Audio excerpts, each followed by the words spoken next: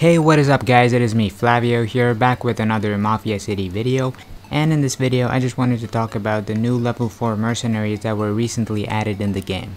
Hopefully this video will help you make up your mind whether you want to invest in the level 4 mercenary investment or not. So let's get right into the video. Okay, so the rewards that you get for defeating level 4 mercenaries are the same as the rewards that you get for beating level 3 mercenaries except for the vigilante experience. Level 4 mercenaries give you 11 to 12 500 vigilante experience, whereas level 3 mercenaries only give you 7 500 vigilante experience. And since leveling up your vigilantes will only help you during City Royale and Clash of Mafia, I don't think it's worth investing in Mercenary 4 unless you have no other important investments left to do. Now to invest in Mercenary 4, you're gonna need over 11 million cargo, 2 million arms, 1.7 million metal, and it takes more than 4 days to finish the investment. But before that you also have to get all the 4 investments above it to level 10. That is Advanced Battle Tactic level 10, Advanced Special Training level 10, Physical Enhancement level 10, and Hit Ops 3 level 10.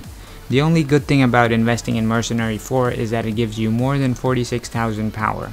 So if you finish this during the turf development event, you should be able to get over 4.6 million points just from this investment alone. This is way more than what you get for upgrading your mansion from level 29 to level 30 which is only around 3.1 million points. So if you're trying to get an easy win in the turf development event, make sure you save this investment for that event. And if no one else finishes the same investment during the event, you should be able to get first place easily unless someone else is doing a crazy amount of upgrades.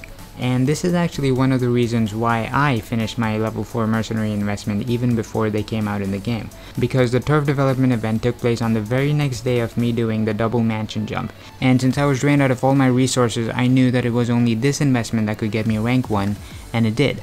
You guys can decide for yourselves now whether you want to do the investment or not, but whenever you decide to do it, make sure you finish it during the turf development event for some easy points.